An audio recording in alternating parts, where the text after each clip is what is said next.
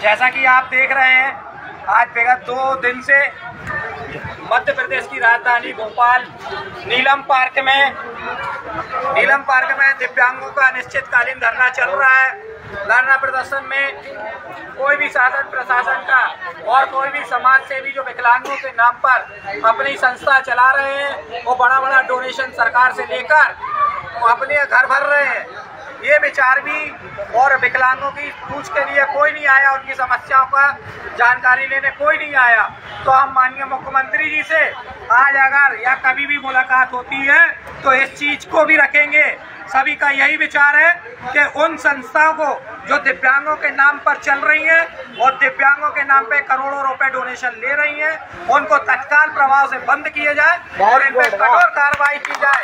जो विकलांगों की सुध नहीं ले रही है। उनके कारण आज विकलांग यहाँ नीलम पार्क में पड़ा हुआ है भरी बरसात में जो कोई विकलांगों के बारे में नहीं सोच रहा है। उन संस्थाओं पे कड़ी कार्रवाई की जाए उन पे बंद किया जाए।